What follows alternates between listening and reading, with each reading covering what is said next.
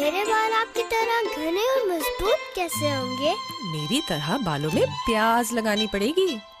लगाओगी? बहुत मेहनत लगेगी। हाँ पर इसकी नया Lifebuoy naturally strong shampoo इसमें है प्याज जो बालों की जड़ों में जाए और दे घने और पाँच गुना तक मज़बूत बाल। दस रुपए के साशे में भी।